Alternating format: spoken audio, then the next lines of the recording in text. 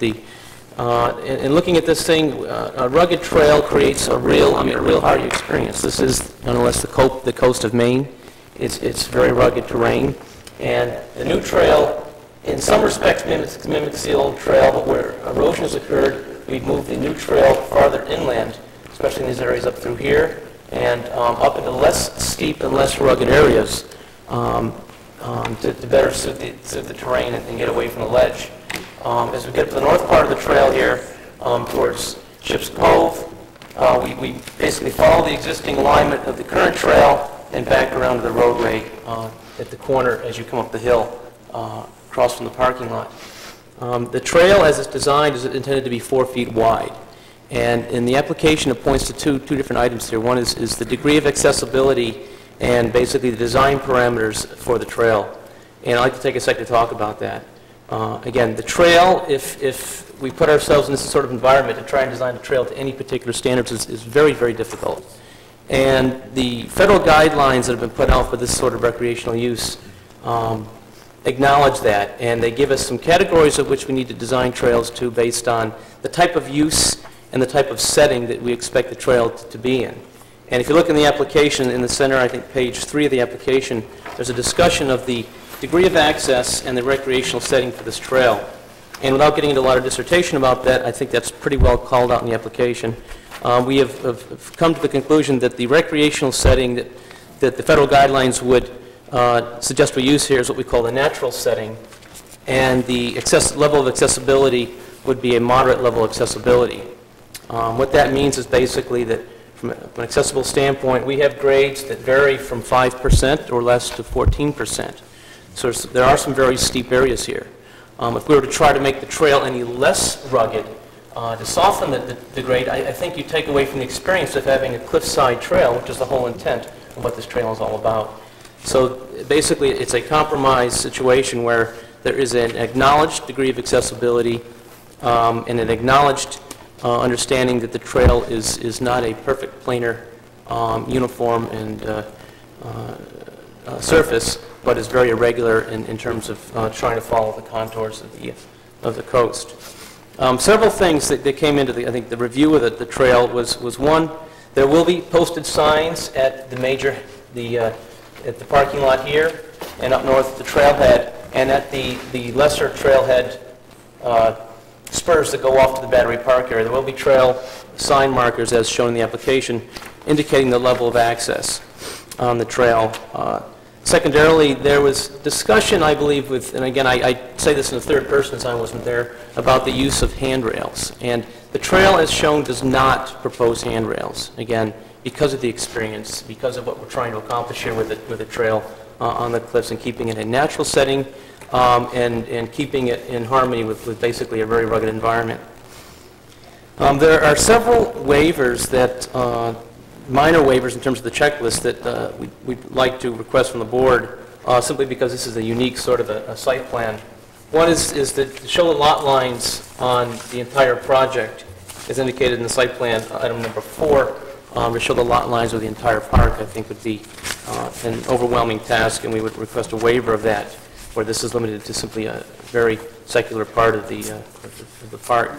Two is uh, the building setbacks. Uh, We have not shown dimensions to the existing building setbacks because the normal high water line was not surveyed, as it was not necessary. We fully acknowledge that the is within the shoreland zone, and the normal high water mark would require quite a bit of work to uh, survey that and serve no useful purpose.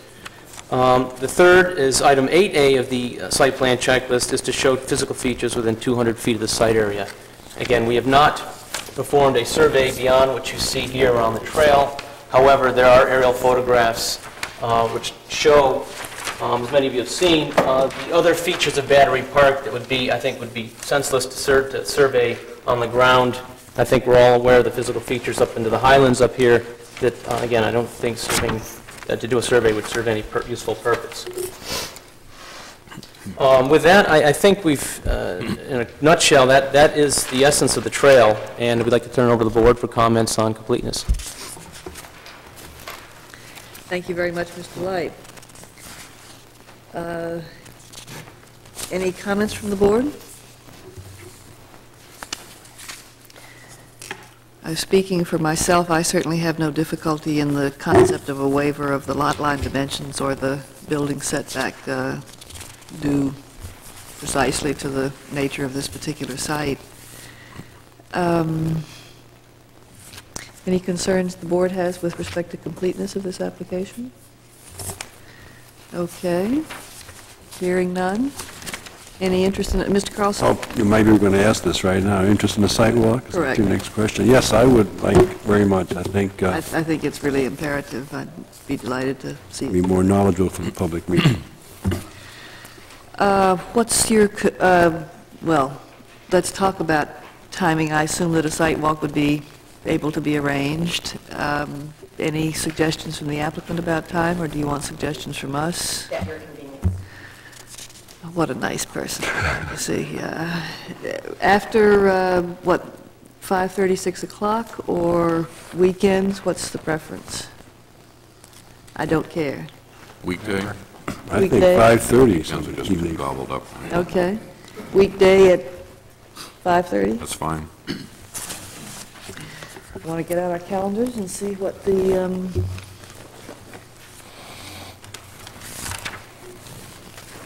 Monday seems to be a day that doesn't seem to have as much problem as other days, but, uh, what about Tuesday, the 29th is a day, is an extra Tuesday in the month. We don't have either workshop or anything else. It's kind of a, Is this rain or, or sun? You won't be there, well, I don't want that, I don't do that, then. that's not gonna work. Well, what about Monday, May the 5th? Anybody? What happened to Tuesday, the 29th? That sounded good to me. Uh, Maureen can't come, and I think it should probably be a good idea for you to get the town planner there. The only problem with May the 5th is that that's the same day as the public hearing for the new zoning ordinance that the council is holding. Not that there's really a conflict, but There may be demands on people's time. Can we do it just before the uh, workshop, the following, following day? on, uh, Well, now, that's not a bad idea, because our Very good our idea. workshop is May the 6th. We're going to be dressed casually anyway. Oh, that's, is that election day? Hmm. I thought we had all of our elections in November. We don't do that anymore? Apparently not. Municipal. I always have a meeting on election days. Yeah, okay. How late do the polls open, 8 o'clock? And they open at what, 7? There's I plenty of always- time. I always vote in the morning. Well, what do people think? I mean. That's I fine. vote We- in the We're going to morning. be here at seven. That's, we're still scheduled for a workshop, right? Mhm. Yeah, I don't know, uh, six? Yeah. Let's make it 5:30 though, because I think we 5:30? want to be at the Fort Williams Place and have a Give us chance to time to walk vote. around and ask 5:30? questions and not be rushed. I don't want to walk on those cliffs at night. 5:30 on Tuesday, May the 6th, is that? Good. Site walk, meet at the Circle at the Lighthouse. Okay. Thank you. Um, Need a motion? Yes, now let me ask you, though, about a public hearing. Um, We're not, we're required? I thought we were, oh, yeah, yeah, yeah, beg your pardon. Okay. I've been reminded that we, a a public hearing is required, is what I was going to suggest anyway. So yes, I'd be delighted to hear a motion. Mr. Carlson? Motion for the board to consider, be it ordered that based on the plans and materials submitted and the facts presented, the application of the town of Cape Elizabeth for site plan review and the RP3 permit for the Cliff Walk Trail at Fort Williams Park be deemed complete. Be it further ordered that the application be tabled to the regular May 20th, 1997 meeting of the planning board, at which time a public hearing shall be held. Do I hear a second? Second. All in favor, raise your right hand. It's unanimous. Thank you very much. Thank you very much.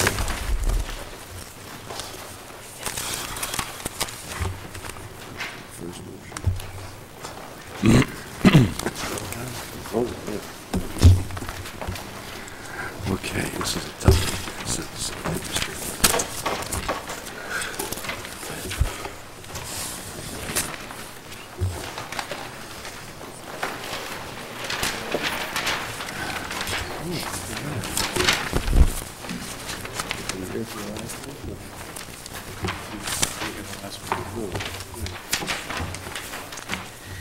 Okay, we welcome Mr. Emery back to the planning board.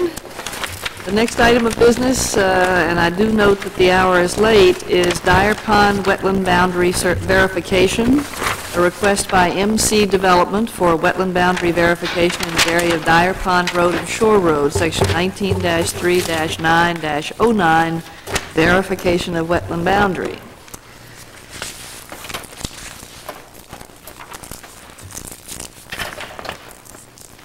Why don't you introduce yourself, sir, and give us an introduction and tell us why you're here? Thank you very much. Uh, My name is Mark Plummer. I'm representing MC uh, Developers. With me tonight is Don Phillips from SW Cole Engineers and Jim Hopkin- Hopkinson, our uh, legal counsel. Uh, I'll give you a brief overview and let, and let Mr. Phillips fill you in on the particulars. We have a lot designated by the town as Lot 2A on Shore Road. Uh, It's a small lot right across from Dunedin Park, and it's just before Dyer Pond Road.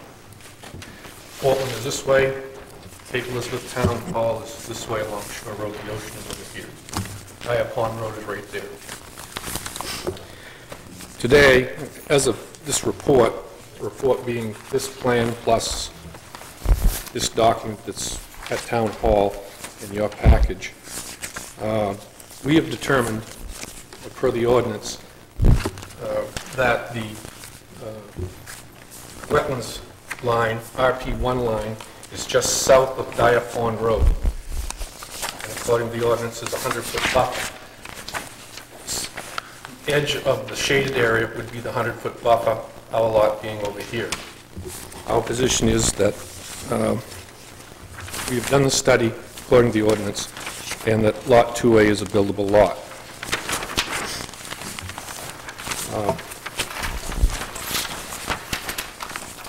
Mr. Don Phillips from SW Coles, 12 years' experience in hydrology, is a certified soil scientist and has had a lifetime interest in vegetation.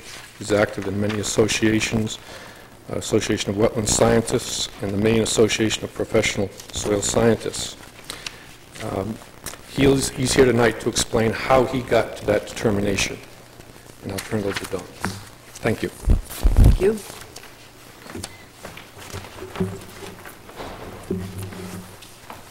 Good evening to the Town of Cape Elizabeth Planning Board.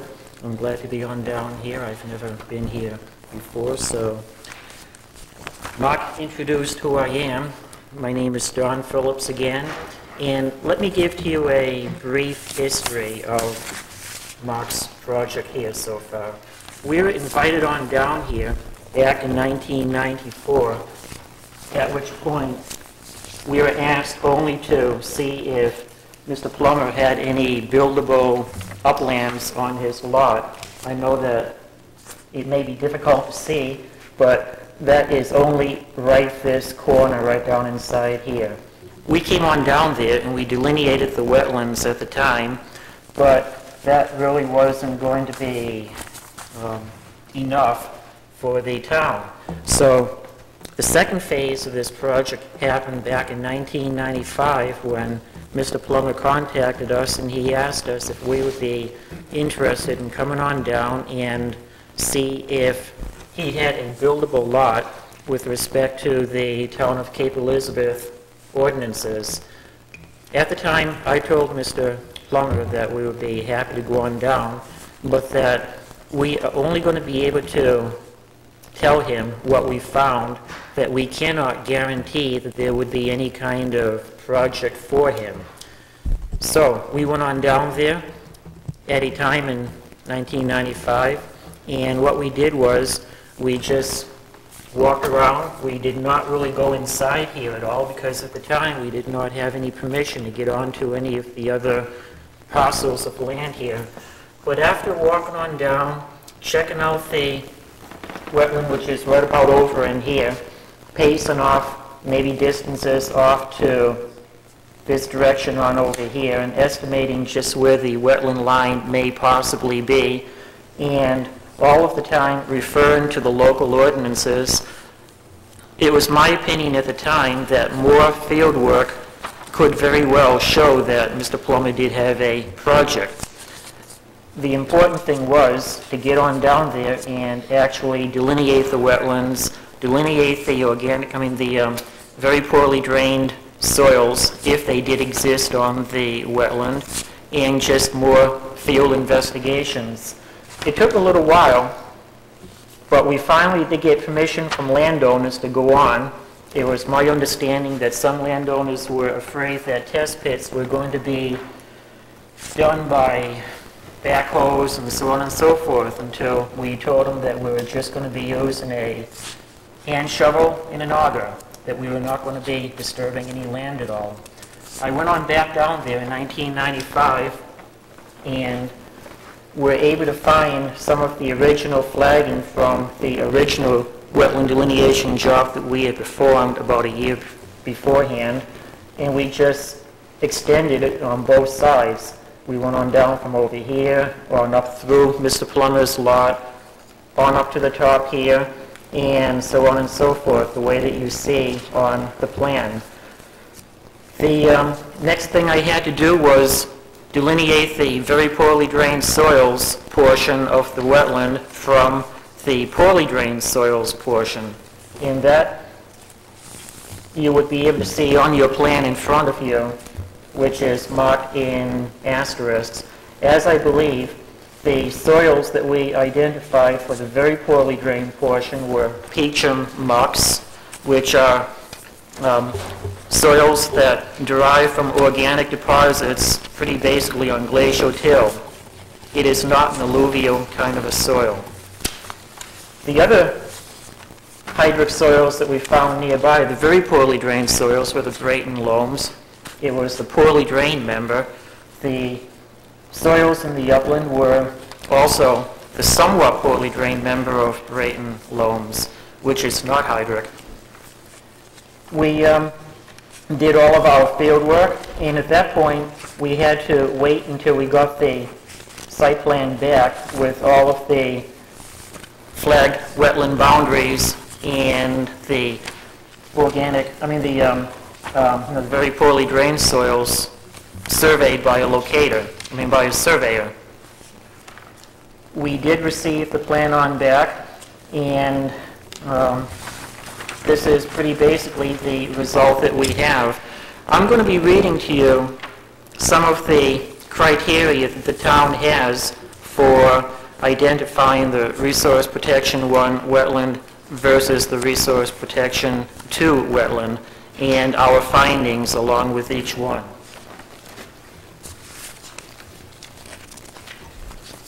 It is our understanding that a 250-foot buffer would be required from the edge of a Resource Protection 1 wetland if the wetland met at least one out of the following criteria. And I'm sure that you can read all of that as well as I, as well as I can, and in, in the interest of time, we'll just kind of forego them. Thank you. In any case, we did not find any. We kept on going on down the ordinance, and it was our opinion that a 100-foot buffer would be the more appropriate buffer on account of the town's ordinances, because we felt that Dyer Pond Road was a topographic feature. So with 100 feet from the edge of the wetland on over here, it measures on out to over this portion, which would give Mr. Plummer ample room to be able to build on his lot. There are an awful lot of other criteria that we had to look at with the ordinances, and we did not feel as if any of them were applicable. I put them down in my report with reasons why.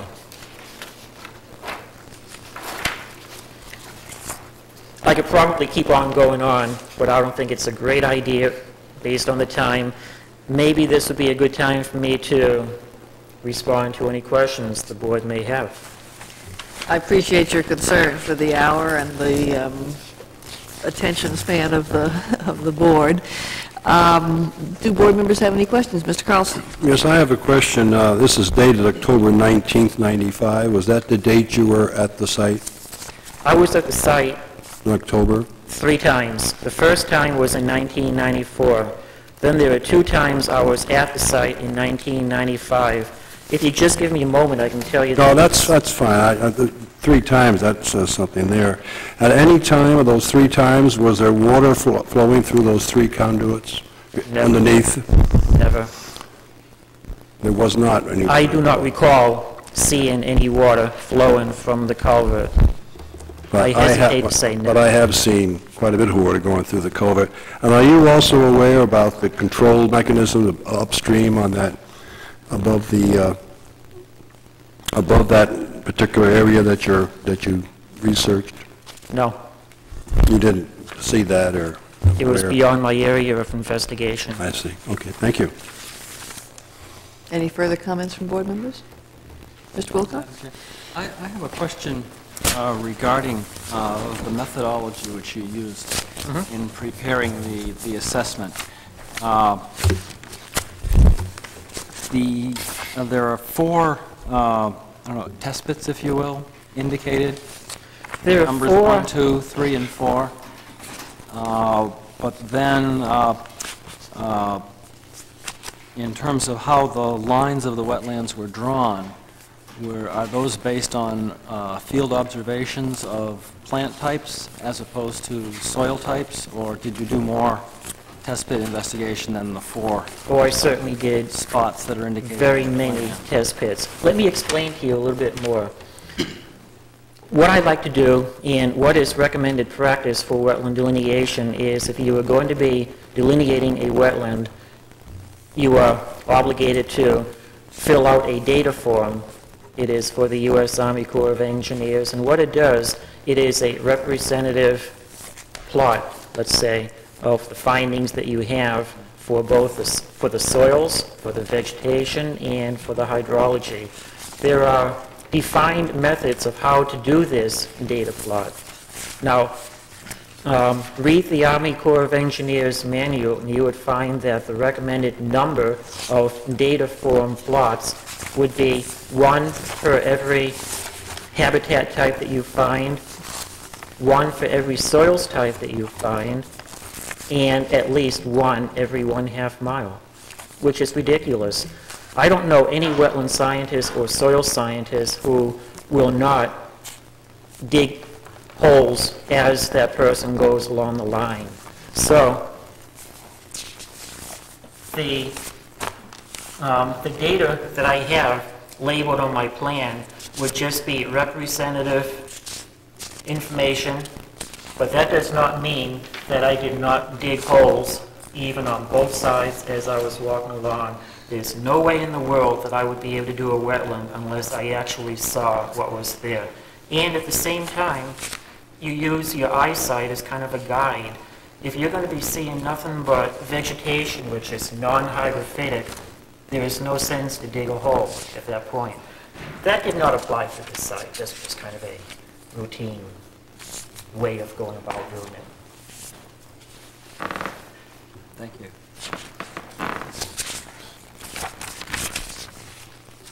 Any further comments from board members or questions?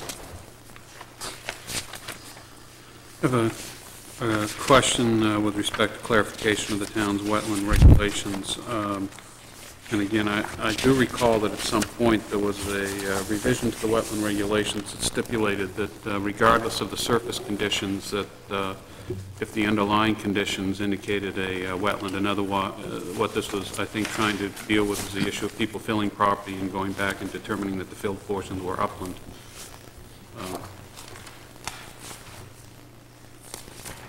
Is that a question or a comment? It's a question as to whether or not I, I recall the ordinance correctly. I think the town planner is currently checking the ordinance. Um, Under Section uh, 19-3-9-02, it's uh, titled Areas Where These Regulations, that is wetlands and floodplain regulations, apply. It lists A, Resource Protection 1 zones, B, Resource Protection buffers, C, Resource Protection 2 zones, D, Resource Protection 3 zones. E, areas otherwise subject to this ordinance are not exempt from its provisions due to the placement of fill materials thereon, regardless of when such fill material was deposited. Wetland areas which have been filled prior to May 9, 1990, and developed by construction of a principal structure on the filled land shall be considered fill land. Filled areas are subject to all applicable Resource Protection 1 critical wetland buffer regulations. Thank you. I I guess uh, what the board's being asked to, do we have a completeness issue we have to address before we have any discussion? I don't think so, Mr. Emery. This is the first time that the town, the planning board has actually um, gone through this particular drill, but as I understand it, there's no completeness issue. Well, I guess that's uh, the piece of information that seems to be uh, critical here as to whether or not, uh, I read someplace that uh, people had witnessed the water actually flowing over the top of the road um, prior to the new road being constructed. And I'm wondering uh, if indeed there's sort of a uh, a reward here for someone having built the road next to a a critical one, Resource Protection One wetland, and then turning around and claiming that that indeed is the uh, topographic divide, and therefore the portions uh, north of that uh, do not fall as contiguous uh, Resource Protection One uh, jurisdiction. Um, And I guess that's, that's the fact that's missing in this discussion.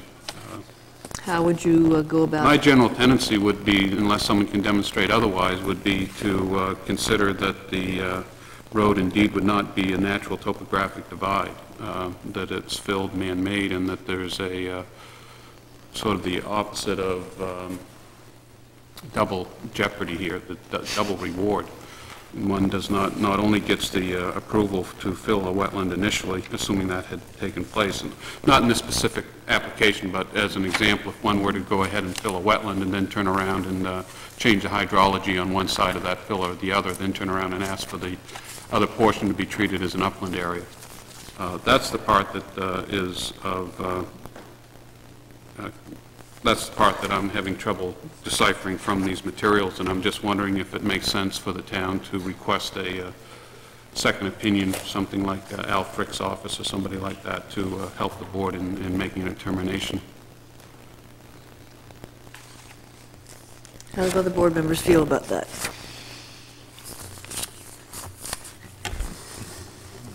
Certainly couldn't hurt.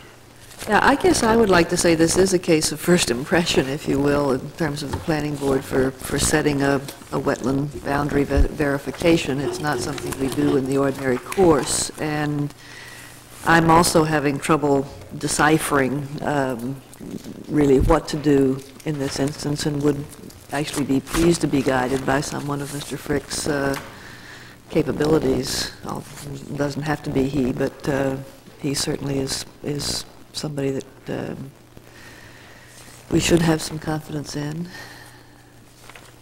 Is there some sense that we might like to ask for his investigation of this? Mr. Wilcox? I, I agree. I think that would be a, uh, uh, an invaluable tool at our disposal. Don't like to- to necessarily spend the town's money on experts unless we need them, but I think here, this is a knotty enough problem so that uh, it doesn't lend itself to an easy solution. Any further comments on that particular issue? Ms. Parkhurst?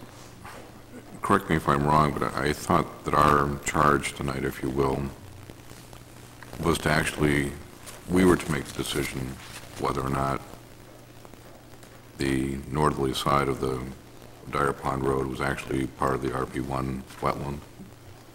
It is our duty to apply the ordinance and determine where the boundary line is. And if we have Al Frick or someone do some additional work, it's still going to be our decision Absolutely. regardless. Absolutely. It's, it's like a referral to the town attorney to tell us what he or she thinks about something, but we still have Well, to I make the understand. determination. It's still, I mean, it- it- situ- our situation is really not going to change. We may or may not be better advised at that point in time. We already have someone who's done, in theory, the same work that he's going to do. I just want the board to make sure that they understand that, that if there may not be any more information. It may be confirming or not confirming, I just don't know.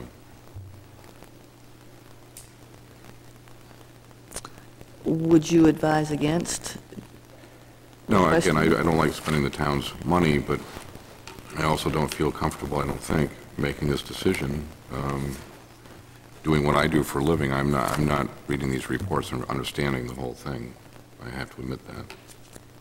Uh, But I also know as the applicant's expert as well. I'm not inferring anything by that, I'm just saying that, you know, we didn't hire him to do the work for us. It's been done, been hired to do, to be done by someone else, for someone else. So I just feel It would very be not, uncomfortable. not unlike having the town engineer actually make uh, comments on a proposed site plan that's been proposed by another engineer. It was just a a sort of a standard, something, but particularly in this case, I don't know, i- i- if we get nothing more than a confirmation that the, um, you know, that there's nothing more to be known, but that this is all there is, then at least we will know something more than we know now, which is that there presumably is not a lot of other facts out there that uh, we should be paying attention to that we don't have before us. Tom Emery also referred to people that had, in the past, have seen, prior to Dyer Pond Road being rebuilt, water, what used to be that pathway, I guess it was. Having grown up here, I've seen that when it's been completely flooded. um, You couldn't, you wouldn't know where the road was. The water was right up to Shore Road and on both sides, very, very clearly. So it- it's going to be interesting, because my inclination right now is that that roadway really does nothing except interrupt the water flow. It doesn't, you know, any sort of natural, um, I'm, I'm not sure what the term is here. Um, It just, the wetlands tolerates the roadway. That's basically what it's doing.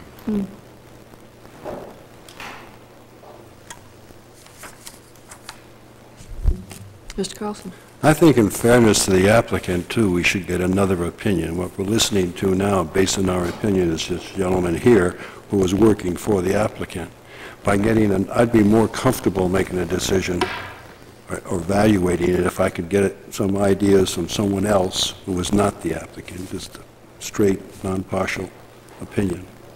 So I think it would be a good idea, and maybe for future applicants also, and how we deal with this. If This is something brand new to us. So I think it might be a good idea. Thank you. Well, it's certainly an issue that um, is a serious enough one to come before the planning board, so we want to treat it in the appropriate fashion. Mr. Parkhurst? One last thing, in the uh, memorandum from the town planner, there's a note in here that the board may request the Conservation Commission to make recommendations. Are we at that point where we could ask them to do that, or should we wait for a subsequent meeting? The Conservation Commission met um, last Thursday and reviewed the same material that the planning board has and delivered this morning to me, I think it was this morning, um, a memorandum which is on the podium tonight, and it says Conservation Commission, April 14, Planning Board Agenda Items. If you look at the bottom of that memo, there's a paragraph on this development. And it says? Says MC Development Wetland Boundary Verification Request. The commission again discussed the MC Development Wetland Boundary Verification issue and does not change its position. Commission members feel that the road bisecting the RP1 wetland does not cause the diminishment of the RP1 classification regardless of the existence of culverts. Furthermore, the commission members feel that the road is not a natural topographical feature that would allow a reduction of the 250-foot buffer per section 1939-06, 1BI, Resource Protection 1, Critical Wetland Buffers. So they've, um, they've done their work expeditiously. And the Conservation Commission Chair is in the audience, in case you wanted to ask. Yes, I do note his presence. Uh, would- Is there any interest in hearing from Mr. Green? Well, I, I think it would make sense, he's here, and it seems to be the appropriate time to do it, if John's willing to do so.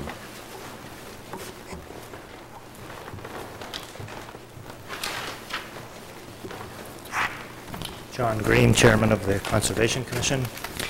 Um, I believe um, in reviewing this, the idea of of retaining Al Frick, I believe the, the intention there would be to verify the work that's done.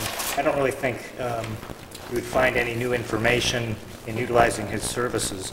I think the problem is really in interpretation of the ordinance language itself, not the boundary of the wetland.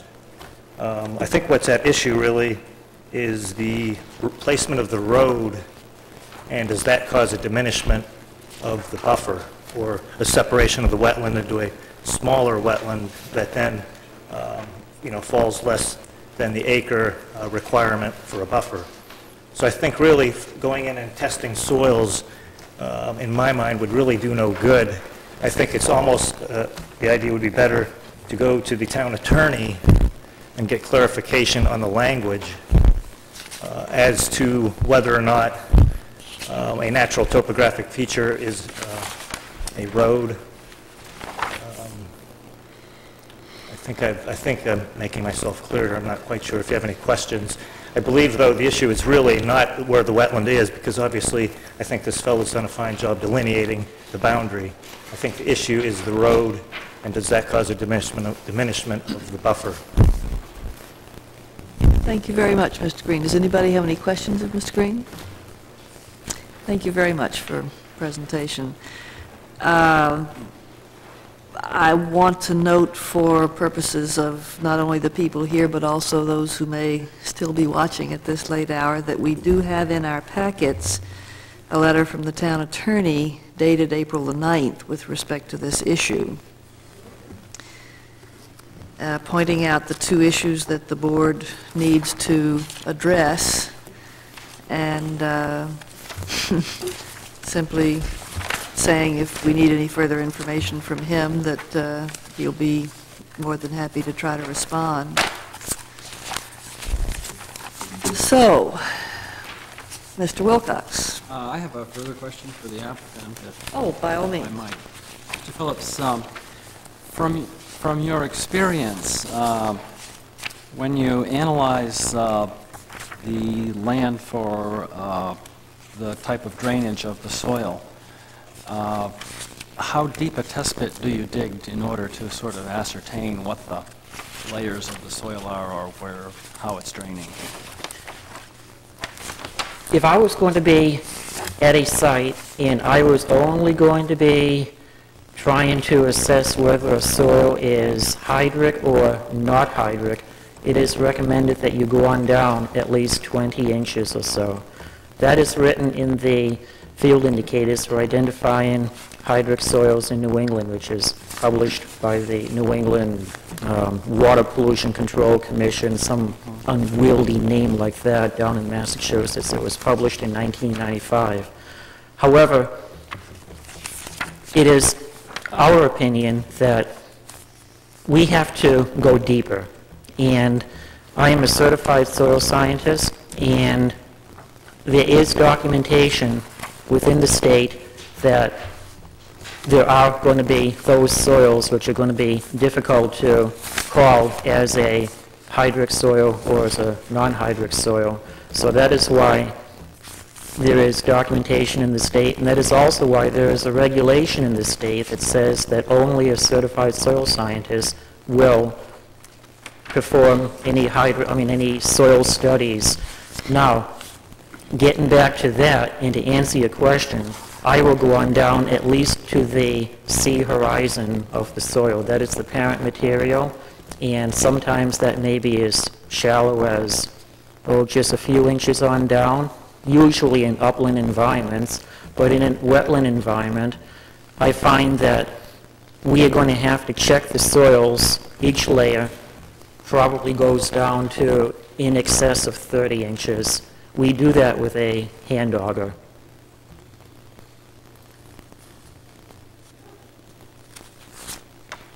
In, in your report on, on uh, test pit number three, which was the one uh, where it was wet near the road, you indicated a horizon CG at 15 to 26 inches deep. Could, is that the C horizon you're just Can you tell me which, oh, I mean, uh, which data form that is, or Uh, there's a data form called DP Wet 3 EP Wet that was in 3? our, that was in our package. DP Wet 3, I have it right in here.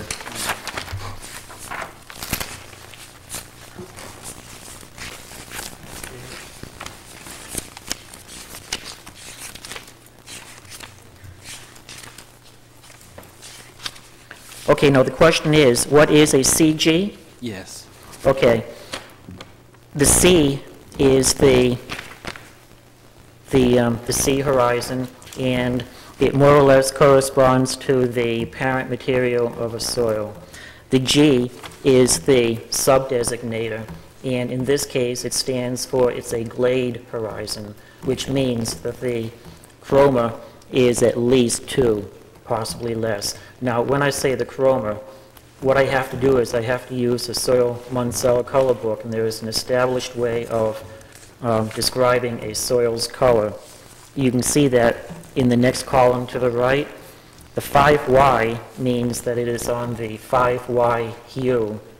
The 4 means that it is a 4 value, and the 2 means that it is a 2 chroma.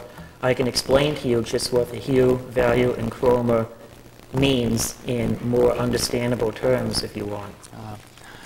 Uh, No, I'm, I'm, I guess I'm a little more interested in wondering what resistance means at 26 inches. I'm kind of wondering what, what is under the wetland? What does that have to do with how, how wet the wetland is? And does this resistance layer travel, in, in your opinion, can you tell whether that would be underneath? Well, I am out at the site Road. and I am digging a hole.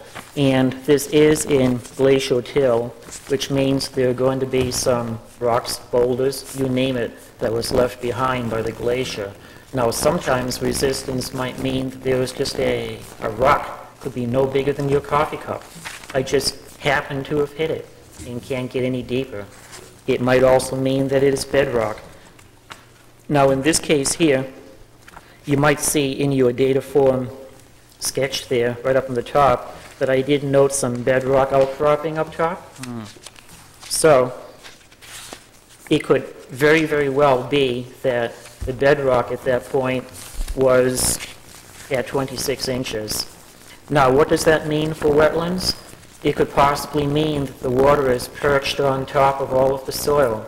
It just doesn't, um, you know, infiltrate into the ground or anything, it just stays right there and it just stays wet. Now, that's not telling me anything except that, you know, it's right where that data point three might be. So you have no, you had no way of telling when you were out there what the underlying strata might be, uh, under the road or in common with? Oh, under the road? Yeah. I was digging with a hand shovel. No, I don't know what was under the road. I can infer that it was fill.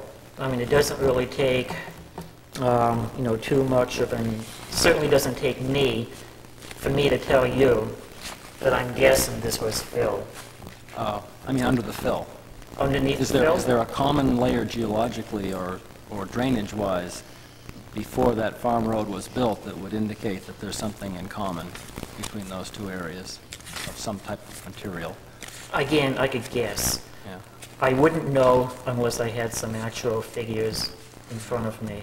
It's probably not going to be too dissimilar than what's nearby. It could be the same as on over in the RP one.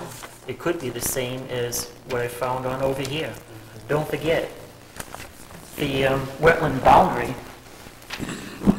comes out this way. So if the, um, the soils underneath is DP, you know, um, data form three, for all I know, it could still be the upland soils right in here, it could be the bedrock, it could be anything. Oh, yeah. I really am not in any position to tell you definitively what it was. Okay, thanks, for big help.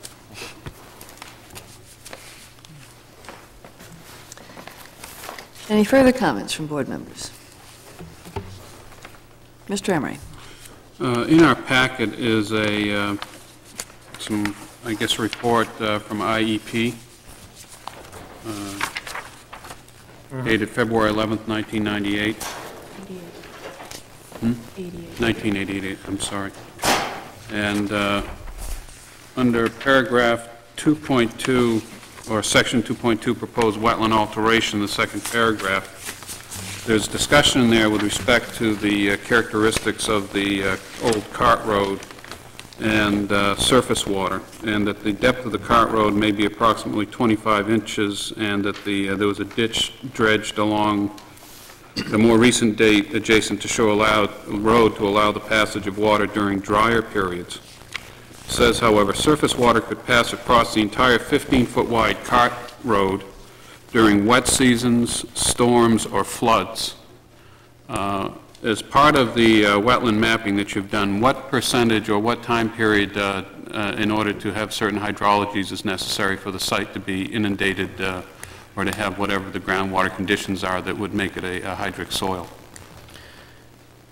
The way that the, um, the wetland scientists and the soil scientists across the state will look at this, you have what is called in soil science terms the growing season.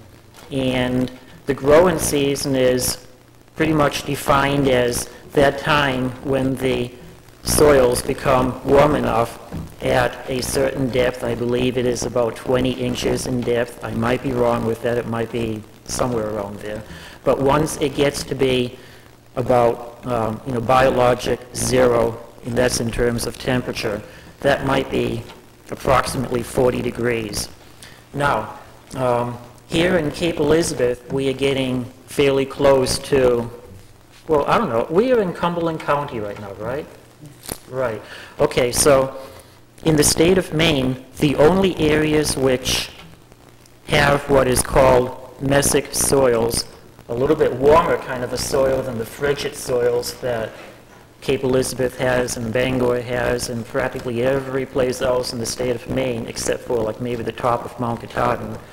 Um, those would be frigid soils. The growing season for frigid soils is pretty basically beginning at about May 1st and ends at about October 1st or so.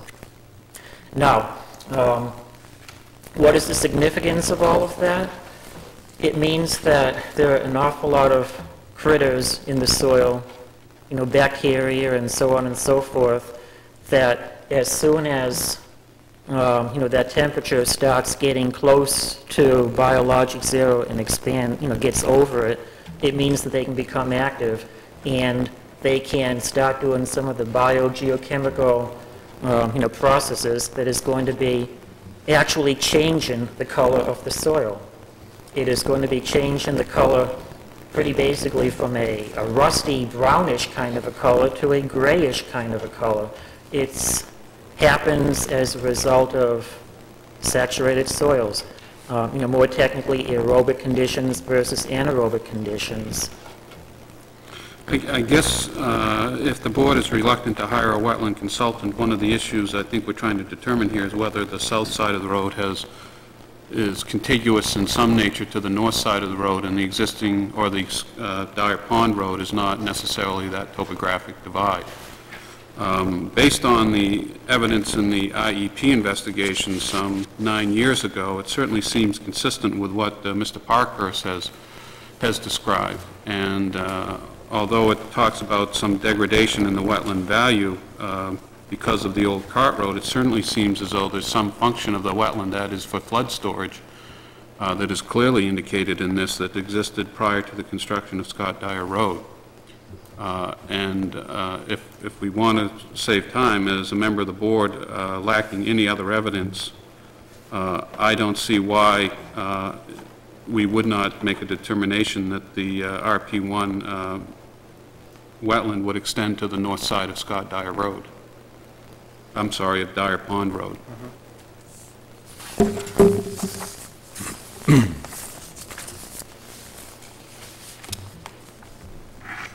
Any further comments?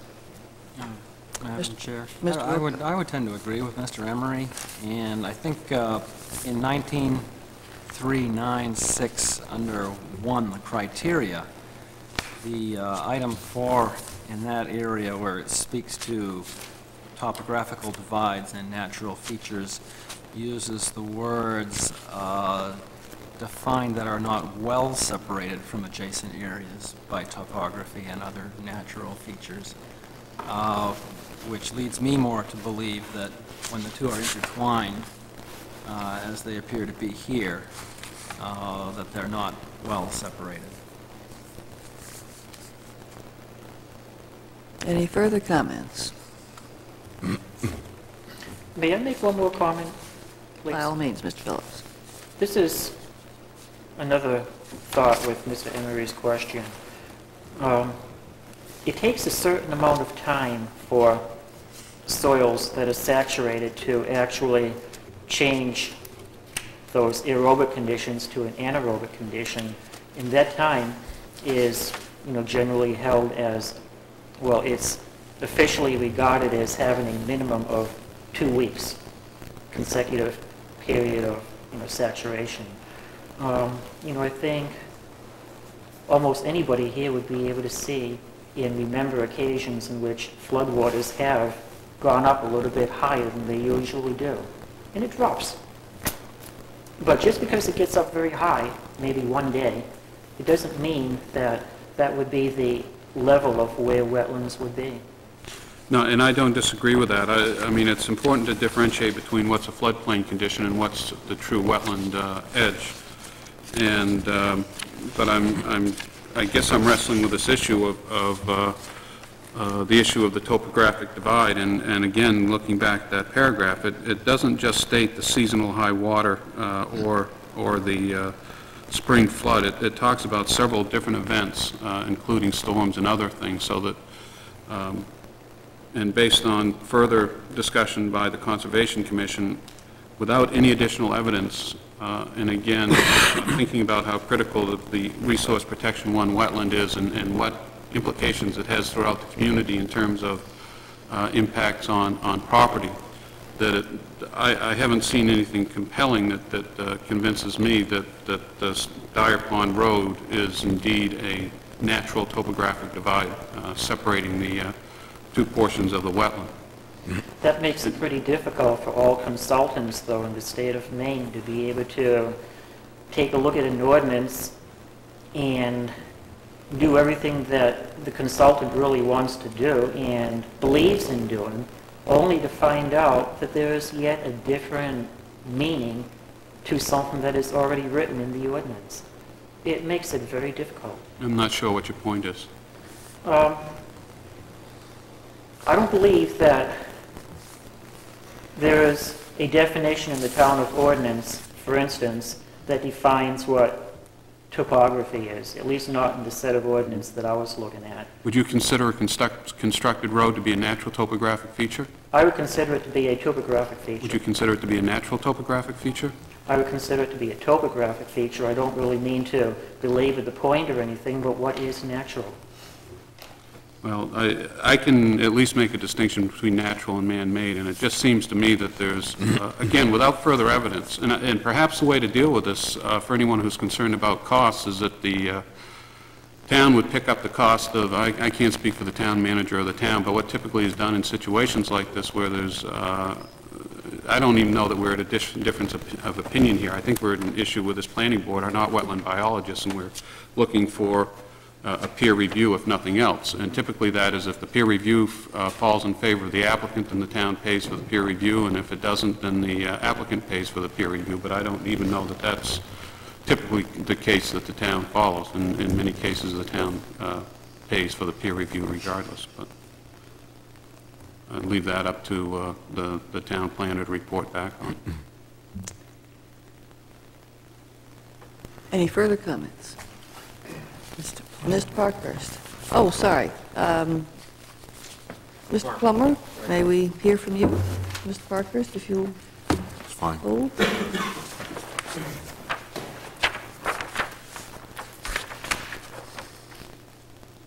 The uh, comment about topography and natural, natural topography, that sentence says, "Resource Protection One, critical wetland zones that are distinctly separated from adjacent areas by topography or other natural features." Doesn't say natural topography, it says topography or other natural features. Other natural features, which would imply to me that it's, meaning that topography is natural as well. I'm not an attorney, but that's the way I would read that sentence. Well, for the, I don't want to be argumentative, but We just But submitted peer regardless, review. e- even if that's the case, I really don't know. I'm- Right, neither do- I, I still, and that's why I've suggested that we uh, uh, refer this to, a- to a peer review. We have no I mean, problem. I have, I have no, absolutely no interest in, in preventing you from using this lot to its full advantage. I, I just. I just wanted to point out, because I thought you were using natural topography, and it doesn't say natural topography, it says topography or natural, Or other, other natural features. okay. Thank you. Thank you. Mr. Parkhurst? I was going to make a motion, but I'm not sure if that's appropriate right now. Mm, Motion's probably always appropriate. We can discuss it uh, further, but why not make Okay. Um, Findings of fact. Number one, MC Properties is requesting the Cape Elizabeth Planning Board to verify the boundary of a wetland located north of Dyer Pond Road, west of Shore Road, which requires review under Section 19-3-9-09. Number two, the wetlands north and south of Dyer Pond Road are functionally connected to a series of culverts which facilitate and regulate stormwater flow in this drainage basin. Therefore, be it ordered that, based on the plans and materials submitted and the facts presented regarding the request of MC Properties for a wetland boundary verification in the area north of Dyer Pond Road and west of Shore Road, the planning board, excuse me, the planning board verifies that Dyer Pond Road is not a wetland boundary and that the very poorly drained soils north of Dyer Pond Road constitute a portion of an RP1 wetland. Is there a second to the motion? I will second. Mr. Cotter seconds. Any further discussion?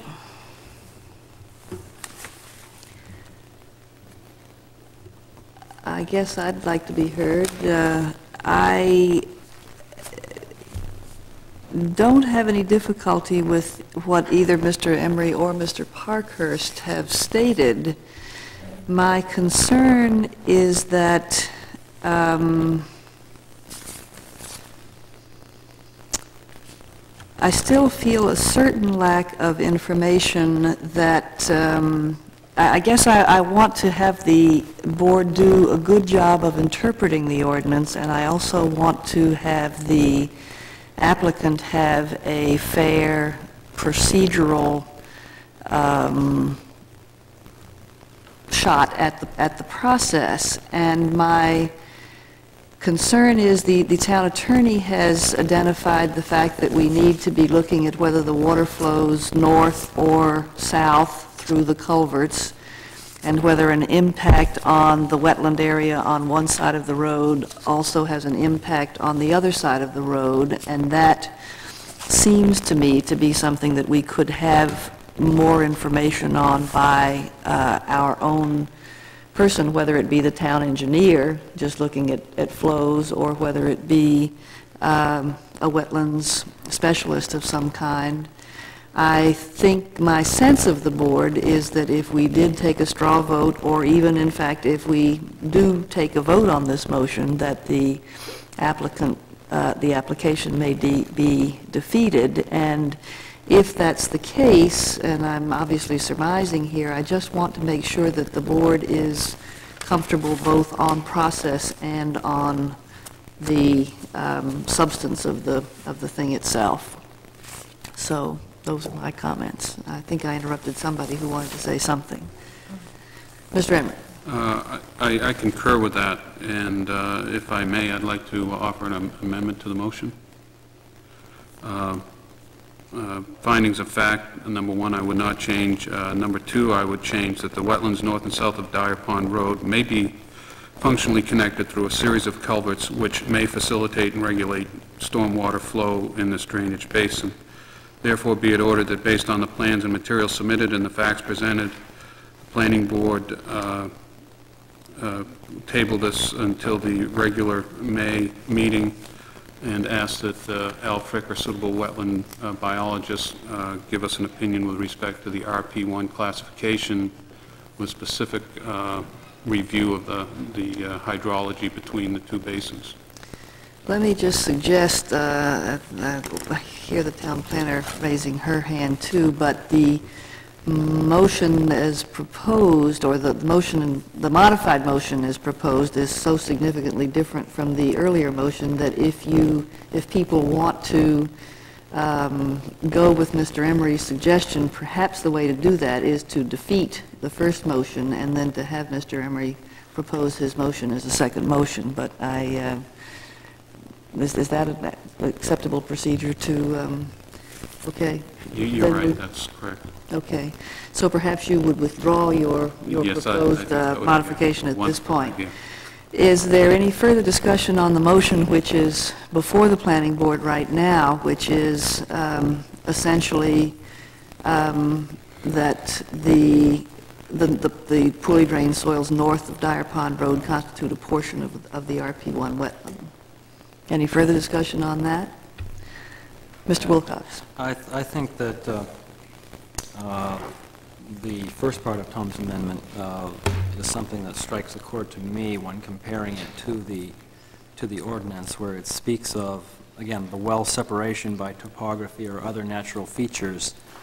Uh, If there were no culverts there, I think that there would be a, uh, a clearer case for those being separate, but in fact, they, they are not separated as such, they are joined by culverts, so therefore that, that semantic distinction of the word separating is, is not there in this case, so uh, I I would agree with uh, uh, some of what, what uh, Tom offered, but I believe that uh, that in fact does uh, sort of speak to Mr. Parker's motion.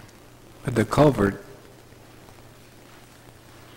is, it didn't grow. It was there, it was put there, it's man-made. That seems to negate everything we've just said. I mean, it's clearly not natural. That, that culvert was put there. Right.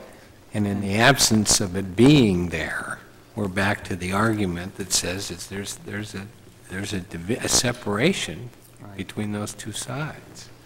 And it seems to me like we're going in a, in a circle, Perhaps it has something to do with the lateness of the hour.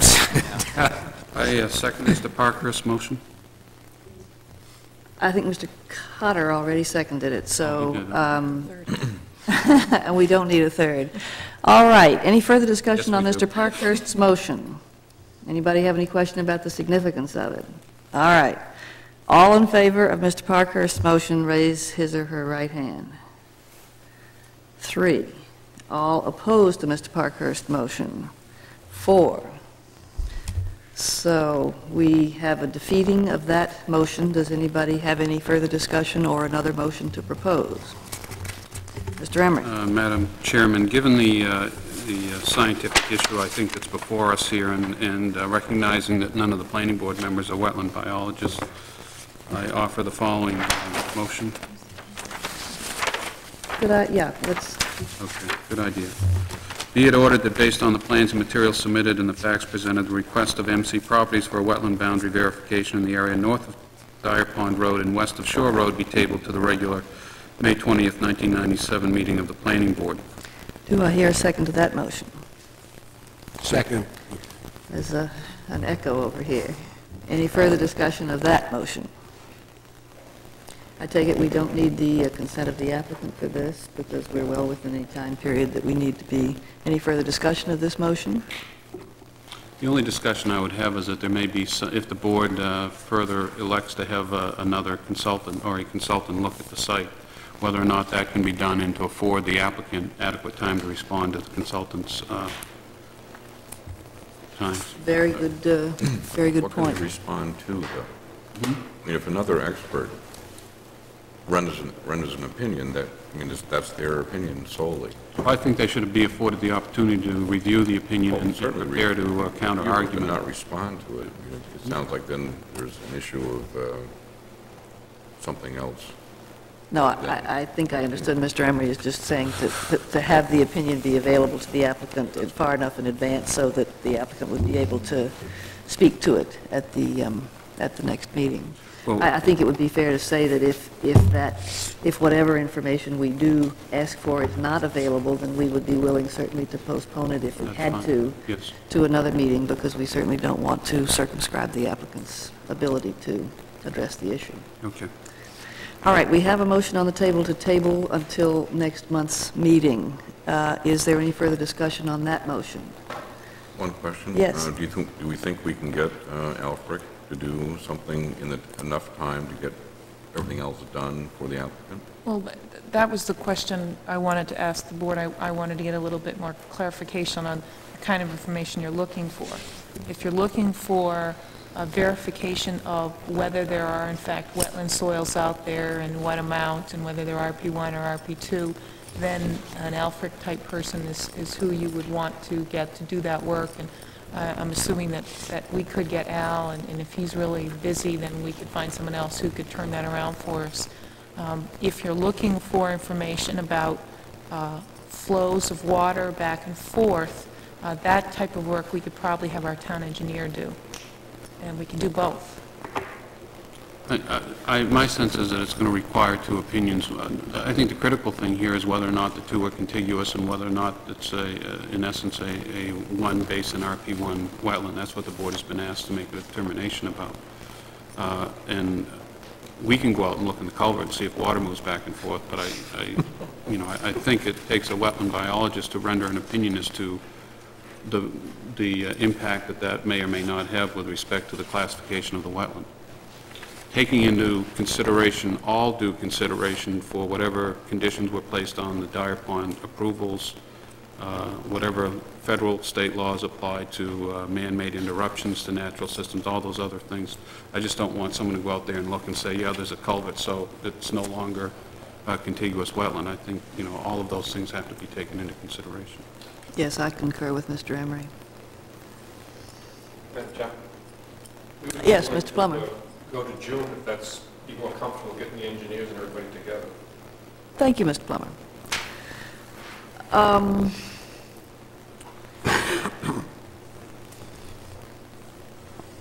Would that unduly impact your, I mean, do you want us to try to hit the May meeting if we can, or, No, I don't think it's that critical an issue. I mean, I think we, have not to delay it, we want to delay it, but just to, if everybody's busy, and I know they are this time of year, uh, we just table it till the June meeting, that gives us a little more time for you to get your work done, and our engineer to respond. that certainly seems like a very nice offer. Uh, Because it would be nice to give Mr. Frick some, or whoever does the work, some time to, um, assuming we can get him to do it. Yes, Mr. Emery? Uh, I would, I would recommend that we proceed uh, to the May meeting if at all possible, uh, that we stay on that deadline, and if we can't meet that, then fine, we'll go to the June meeting, but, uh, you know, sometimes these things get dragged out, and, and uh, the board's always looked upon as sort of being a delay, uh, delaying the process, so if, if it's at all possible to have this looked at expeditiously and fairly to the applicant and to the town. Let's just think about the deadline for the May meeting. Um, the- May the- 2nd. mm, Is May 2nd, which is 17 days from right now. Um, I suppose that's certainly possible to ask if Maureen can make the call tomorrow, that that would be within the, You know, maybe it's a two-step process where the, um, who- whomever we're dealing with goes out and- and looks at the site and has an opinion about the hydrological characteristics uh, that the board has been asked to address. Um, I think that's probably a good plan. Let's, let's try to um, get an opinion, but obviously, we won't have any, if we can't, we can't. Um, But we still have the motion now to table to the May meeting, is the way it's uh, currently stated, and that motion has been seconded. Any further discussion? All in favor of that motion, raise your right hand. One, two, three, four, five, six. Opposed? One. Okay. Um, Ms. Ms. Town Planner. I, I just want to bring this up. The planning board has received a piece of correspondence. I've received a few phone calls. There are some members of the public that have inquired about whether there would be an opportunity for them to comment on this request. I bring that up in case the planning board would like the next meeting advertised for a public hearing. I would certainly support a public hearing. Yes?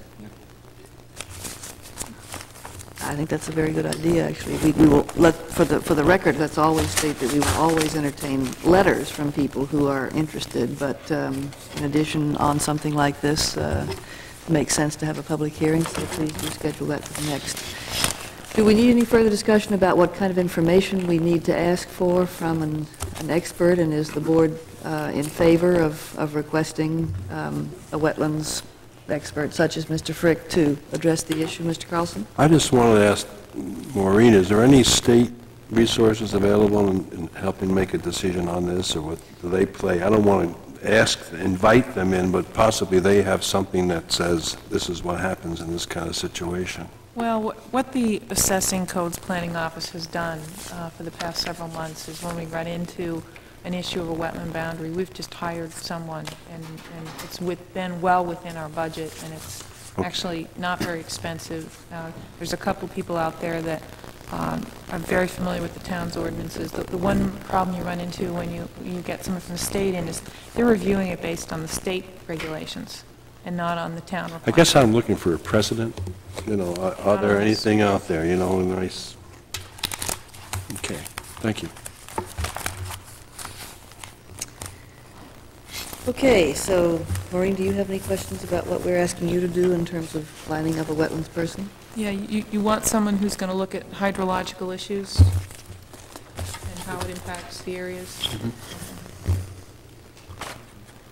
I would really describe the um, concerns in some detail and really ask for whatever illumination we could get. Anything further on this issue?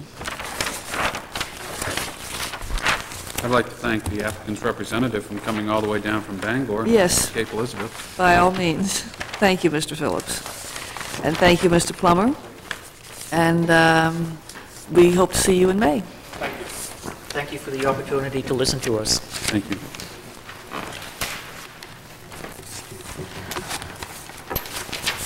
Okay, last but not least, Japanese Pond Road Wetland Alteration Permit. Ah, This isn't any fair.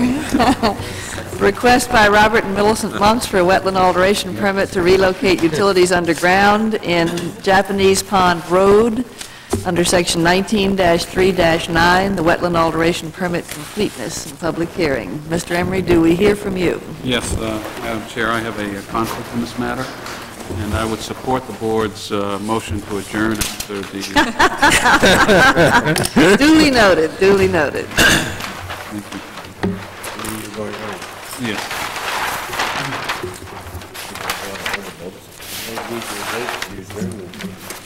No, I don't, I think you're shared with the last one. Oh, my. Oh, my God. It's good.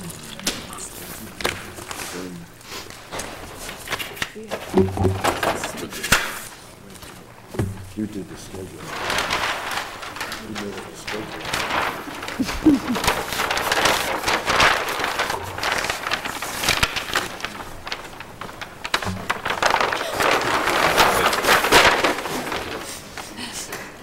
Yeah. Your props are not cooperating with you They're not. tonight, Mr. Rock. I think they're tired too.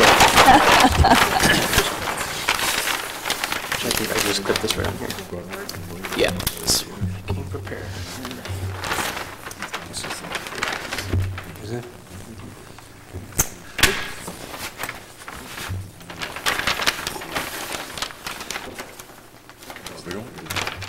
Perfect.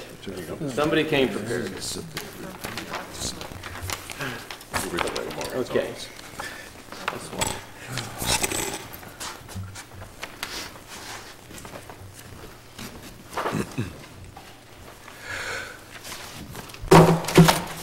Thank you for your patience. Greetings again, Madam Thank you for your Chair, perseverance. members of the board. Uh, I, given the hour of the night, I think what I'll do is give a very brief presentation of what the project is about. Um, I think the application has actually been, in one way, shape, or form, before the board uh, and tabled for a number of months now. In fact, I was surprised myself when I discussed with Maureen the other day that it's been probably three or four months. Uh, The applicants, there's several issues here. One is, we're looking for a special permit, obviously, under the wetlands provisions for utility extension under an existing roadway at the Monks uh, Estate. And there was some confusion right off the top about the applicant and who is the applicant, and there's been, I think, some documents submitted that basically amend the applicant from being Robert and uh, Monks to Robert and Millicent Monks, the Sprague Corporation and Rams Head Partners Limited Liability, and I'll explain that in a second. Um, Very briefly, I I put this, the aerial photograph up, and I I have a blow-up of the of the 100-scale plan of the crossing, which is the same as what you have in your package, just for uh, ease of reference. Uh, This map is sideways, but just for for point of clarification, when we do work on, the I guess, the Sprague and Monks property, I I'd like to look to John here, there- there's such a vast area, sometimes it's easy to get confused as to where we're at. This here is Route 77. This 280-plus acre tract is called Lot 8 on the Beals plan, which I think the board may be familiar with from workshops on the Sprague Corporation property. The ocean here, uh, Crescent Beach over here, uh, this is the Monks' compound, Mr. and Mrs. Monks' compound. And just off the map down here is the Ram's Head area and uh, Ram Island, and the farm is up and through here. Uh, Charles E. Jo- Fowler Road is here, Charles E. Jordan Road is here. Basically, what is going on here is we're looking for a permit from this board for utilities extension along this back road here, which is, I'll again point to my larger scale map in a second, but this is the area through here that we're asking or seeking a, a application for wetlands alteration. Essentially, what, what this application is for, again, this general vicinity here, important to reference, this angle in the, the road here is this angle right here. This dark area here, which I don't think you can see very well, is actually what we call the Japanese pond area, is this area here. So the Monk's residence is over here. This is Ram, uh, Ram's Head right here. Essentially, what, what is going on is, is in the Monks' estate, there, uh, from Route 77 several years ago, a utility extension of fiber optics and water was made down the compound area and through here. And there are several residences within the compound here. And since then, uh, there's been some development and some work over here, as you're familiar with, the the Ram's Head project. And uh, Ram's Head Partners now owns this parcel here, which was the previous four-lot subdivision approved, I believe, under uh, Shaw Sprague. What they're looking to do is, is over time, constantly upgrading and looking to uh, master plan utilities within the network of the compounds and the estate as a whole. This application simply is looking to do several things. One is to extend this fiber optic that was, has already been brought into here over to Ram's Head, to bring the water that has been brought down this far over to Ram's Head, and conversely, the electric that actually goes to the Monks' area over here actually comes from Ram's Head. Now we're coming the other way, across the roadway here on overhead pole lines currently. And so this application is going to do, looking for several things. One is, we want to take the overhead pole line, which comes from the Ram Farm area, along the edge of the, this existing Japanese pond roadway, and take that pole line down, remove the poles, and put the electric and conduits underground. Again, we'll be bringing fiber from over here in conduits back over to the Ram's Head, we'll be bringing water back over, and uh, something else I'd like to amend to the application, um, given the nature of the technology today, is is we're looking to also bring cable TV with the electric off the Charles E. Jordan Road, uh, across the Japanese Pond Road. Um, What this plan shows pictorially, uh, graphically, is the three different wetland areas that are governed by this body are the RP1 critical wetlands, the RP2 vegetated wetlands, and the RP1 coastal dunes. The yellow areas here are the critical wetlands. This is the Japanese pond, which is, I think, photographed in the back, exhibit three or four of your application. It's a very beautiful pond. I think some members of the board may have been out here before on sidewalks. Um, The green areas are RP2 wetlands, which are vegetated wetlands. Most of these are characterized by the hemlock and spruce, uh, shrubs, scrubs, and whatnot, typical wooded wetland. And the brownish areas are actually uh, mapped dune areas. All these limits were mapped in the field by Albert Frick and surveyed by our office on the ground. Um, Basically, the road is pretty flat. It- It elevates from maybe one and a half feet above sea level to seven and a half, and back down again, and then up slightly at this end right here. Um, There was some discussion about the, how we're going to do this, and I think this is germane to the discussion, I want to keep this short, but what we're essentially doing is looking to open a trench in the roadway, completely within the roadway bed, not on either side, not in the wetlands, but on the roadway bed. And in one area where we leave the roadway, we're going to divert between two wetland, uh, RP2 wetlands and into the uh, estate area through here. This is a corridor, of- a wooded corridor, there is some legend here that will probably, need to be removed. There's an existing transformer here, and there it will filter into the estate. Um, but- But in no case will we be off the roadbed, simply maintaining within the roadbed. And I have with me here a section a sort of a blow-up of a section what this might look like. And this is uh, basically the roadbed, which is 10 to 12 feet wide. Vegetation and wetlands, as you can picture on either side. The road is built up maybe two feet. It's a typical, it's an old access road between, an emergency access road between the estate. Um, What we're looking to do is put water five feet deep, the cable utilities up on a shelf, as we call it, to the right or to the side of the water, and uh, that is essentially the whole process.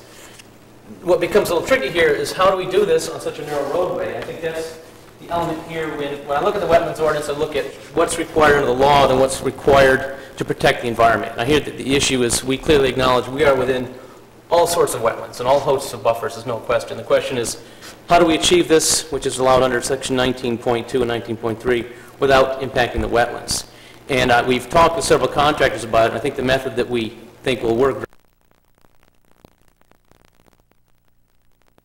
will be in conduit. So there's a need to open a trench, have a utility company in and, and actually time it so they can come in and, and lay the cable. We can put all the conduit in, and the idea is to take a piece of machinery on the roadway, dig uh, the, the side section of the trench for the cables, side cast the material, put the conduit in in sections, backfill it, then dig the water trench, or they can do the water trench first, and, and, and side cast the material. So you're actually digging in two different sections here. And we've discussed that with some of the contractors who are bidding on the job. I think that's a reasonable way of doing the project and that that will work. Um, And so in response to that, what I'd like to offer, we've, we do have engineers' comments on this, and there was a comment about placing silt fence along the entire section of the roadway. And in our application, we will, we would propose that we simply use silt fence as necessary, and maybe on, in terms of field inspection, if we feel there's an area that has direct water access on either side, it's going to be a troublesome spot, um, we put silt fence up for a day's worth of work, whatever that might be, 100, 200 feet, and remove that, maybe move the silt fence on down the next day and that sort of thing, rather than simply on a typical plan, just blanketing the whole activity with silt fence. I I don't think that's necessarily the best way to, to protect the wetlands, but we acknowledge that doing that, um, when they're done loaming and seeding and uh, mulching the side slopes would be prudent. And the third thing is, there are several cross culverts here along the roadway bed that we would, they're old and, and decayed, we would simply dig those up and replace those in kind as we go along the roadway. And that, in essence, is the project before you. Thank you, Mr. Light. Welcome. Comments from board members?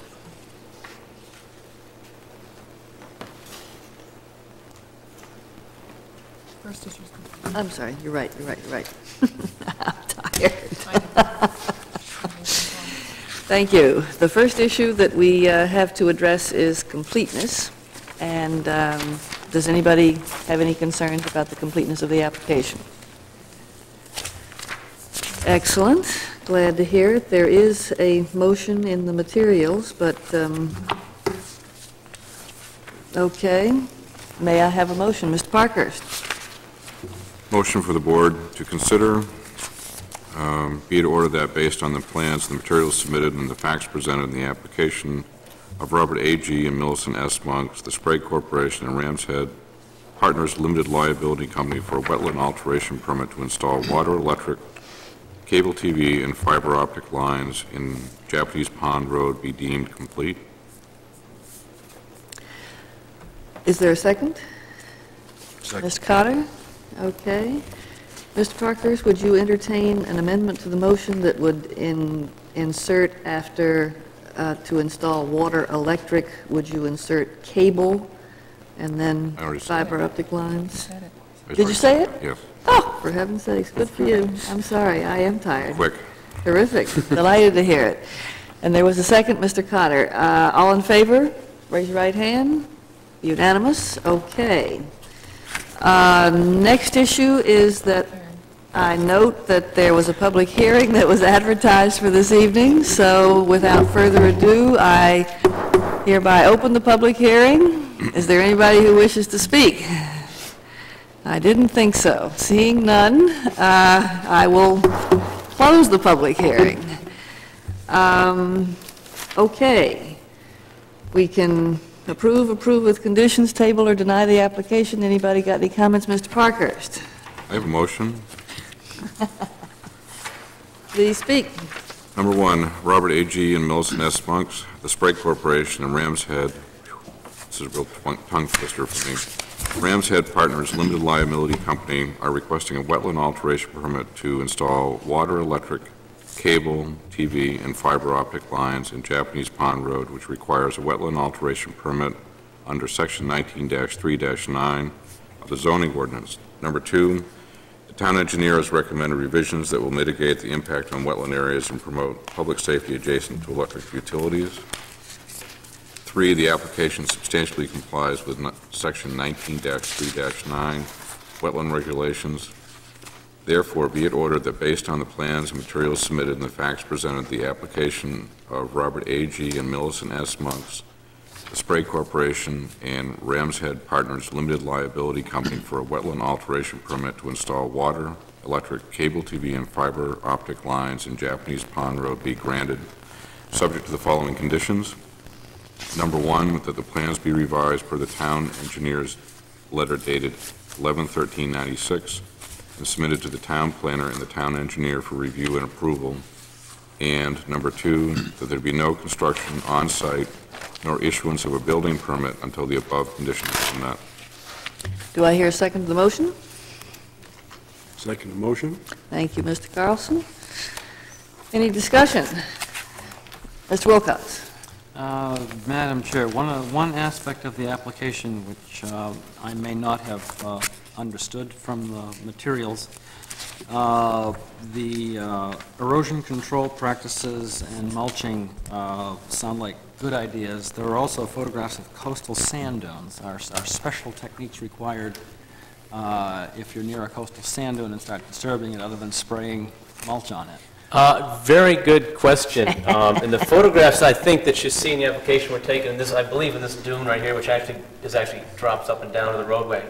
Um, In those areas, again, I think the- the, the issue there, I would almost propose that we don't put silt fence up in those areas because, again, we're talking about short duration, a day's worth of work, side casting, and if it's inclement weather, I think we would concede that there won't be any work being done up there because of the sensitive nature.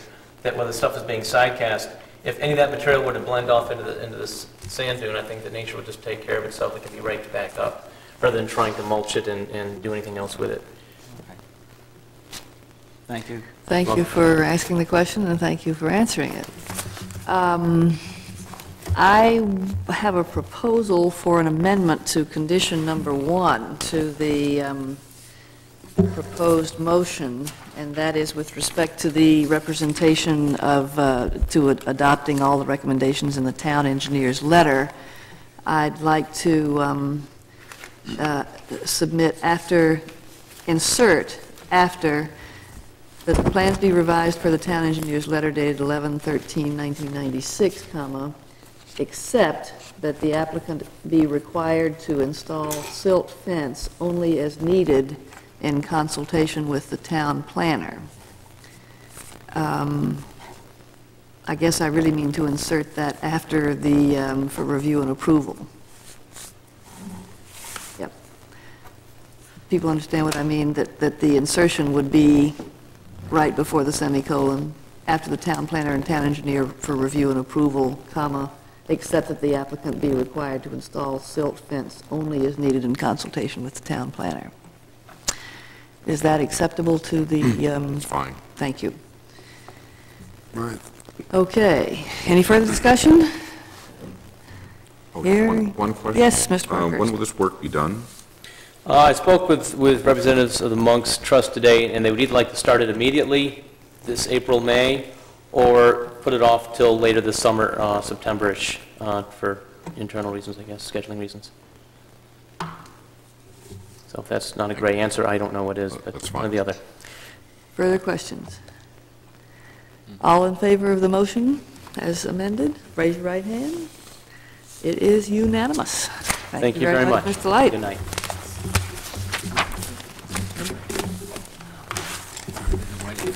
I note for the record that when I walked in with Mr. Emery, he jokingly said that we would be out about quarter of 11 tonight. He wasn't too far off. Maybe he wasn't joking. The meeting is adjourned.